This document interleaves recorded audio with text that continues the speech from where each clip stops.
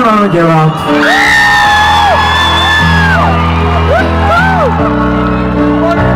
Tak já myslím, že na to, že jsme náhradníci, to dneska nedopadlo zase tak zle, co říkáte.